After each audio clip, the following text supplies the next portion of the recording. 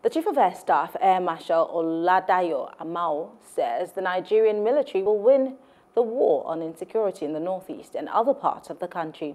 Amao said this when he received the chairman of the Nigerians in Diaspora Commission, Abike Dabiri Erewa, at the Air Force headquarters in Abuja.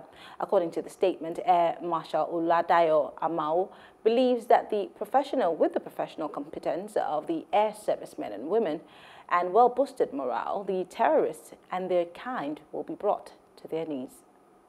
Hello, hope you enjoyed the news. Please do subscribe to our YouTube channel and don't forget to hit the notification button so you get notified about fresh news updates.